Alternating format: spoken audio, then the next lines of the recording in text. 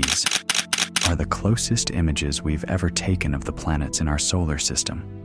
First, Mercury. This is the most detailed photo we have of its surface, captured by the Messenger spacecraft in 2008. And yeah, it looks a lot like our moon, dry, rocky, and filled with craters.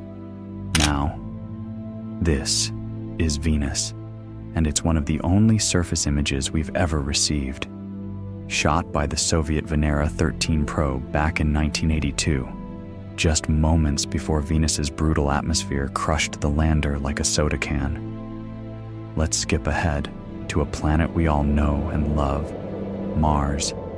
We've got tons of photos from Mars, but this one, this selfie, taken by the Curiosity rover, might just be our favorite. Next up, Jupiter.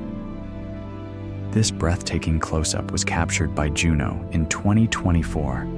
Look closely, you can see the swirling clouds and powerful storms in stunning detail. And then, there's Saturn.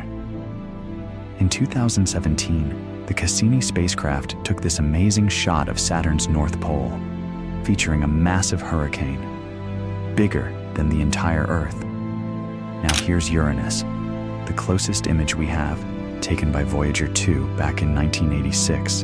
And same with Neptune, Voyager 2 again, 1989. Still, the only spacecraft to ever visit these distant ice giants. Finally, because we all love Pluto, here's the most detailed panoramic photo ever taken of its surface, captured by New Horizons in 2015 during its closest flyby.